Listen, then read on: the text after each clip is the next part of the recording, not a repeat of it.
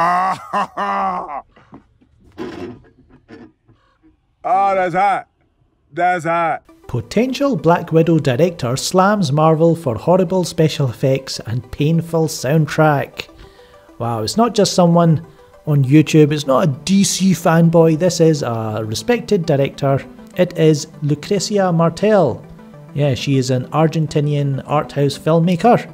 So let's see what it says here. This is from the Guardian website. It says In comments reported by The Pioneer, Martel, director of Zama, La Ciénaga, and The Headless Woman, told an audience at the Mumbai Film Festival that she received an email from Marvel for a meeting because they were looking for directors for Black Widow. She added that she had to sign a non disclosure agreement about her meeting, but that Marvel and other such production houses are trying to involve more female film makers. However, Martel's distinct lack of enthusiasm for Marvel's output may have scuppered her chances. She added, the first thing I asked them was maybe if they could change the special effects, because there's so many laser lights, I find them horrible.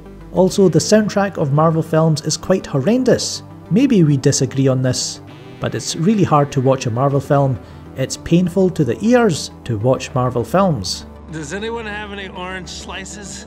Now, in the end, Australian filmmaker Cate Shortland uh, was announced as Black Widow's director in July.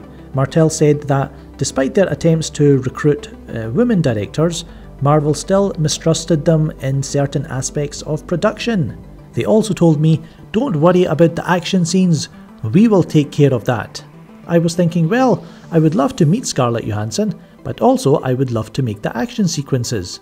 Companies are interested in female filmmakers, but they still think action scenes are for male directors. So she is confirming everything that we've known about Marvel Studios everything has to look the same, everything, you know, has to look part of their universe, and is becoming more and more stale and uninspiring.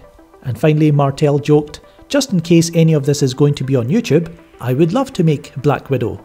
And we all know Kevin Feige and uh, Marvel Studios, they're only making these, they're only pushing for these female led movies with female directors because of the success of Patty Jenkins and uh, Wonder Woman. And now they want to jump on the bandwagon with movies like Captain Marvel because they didn't trust their own female characters after over 10 years of making movies in the Marvel Cinematic Universe.